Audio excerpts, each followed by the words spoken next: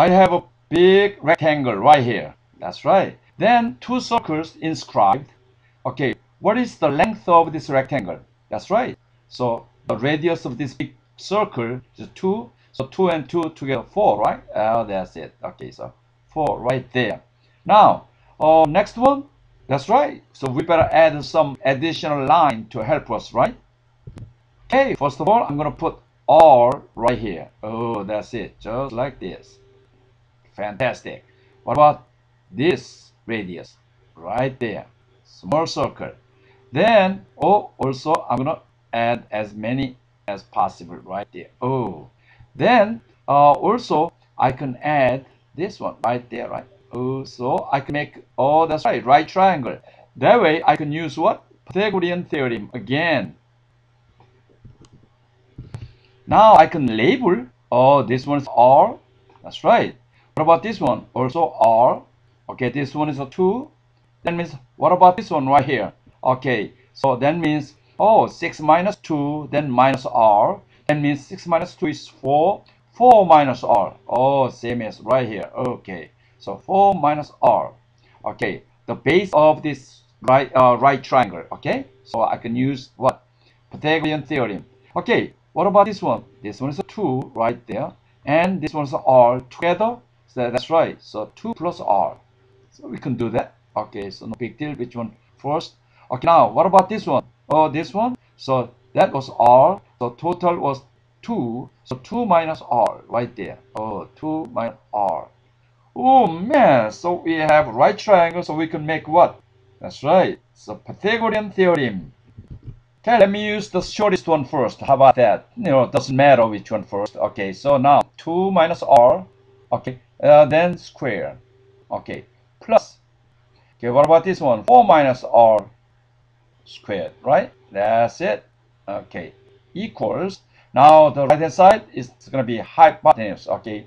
2 plus r squared. That's it. So now I'm going to solve it. Okay, so 2 times 2 is 4 minus 4r plus r squared. Okay, what about the second one right here? Oh, that's right. Okay, 16 plus, okay, actually minus. Then 8r okay plus r squared. That's it. Okay what about this one? So 2 times 2 which is what? That's right 4 then plus 4r then plus r squared. That's it. Now I gotta scratch left hand side right hand side exactly the same one. 4 and 4 ooh that's it oh what about r square and r square oh that's it now oh all done right now I'm going to move everything to my left hand side. That's it. First of all, okay, so all square. Anything I use, I have to scratch first, okay? Otherwise, you get confused. Okay, so all square. That's it. All square.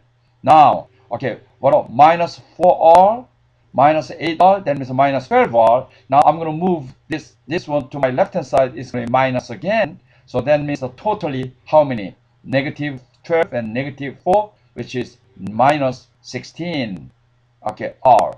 Okay then uh, what about uh, yeah oh right here. Okay so this one is hiding here. Okay i'm gonna scratch this one then plus 16 so equals 0 that's it.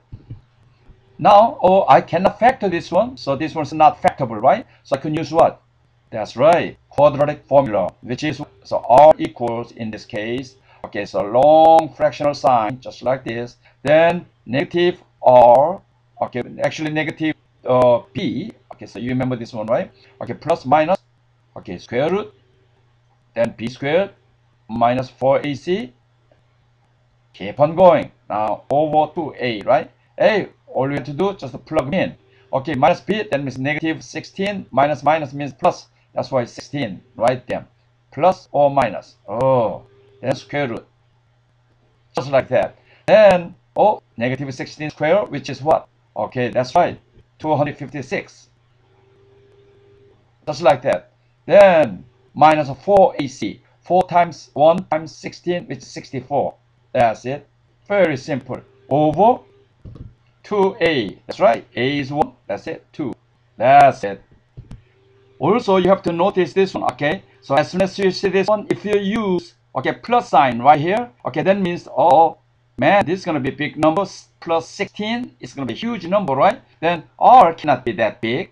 Okay, the big circle R is only 2, right? Okay, that means this one definitely. So that means we cannot use positive anyway. Okay. Then we go like this 16. Okay, minus. Only minus. Okay, square root of. Okay, so 256 minus 64. So 192. Oh, that's it. Over 2. That's it. So if you calculate this one, so 16, obviously 16 minus, okay, then this one is 8 square root 3, right? 8 square root of 3 over 2. Oh man, that's it. So that means, oh, final answer right here. Okay, which is, uh, you can reduce all this one.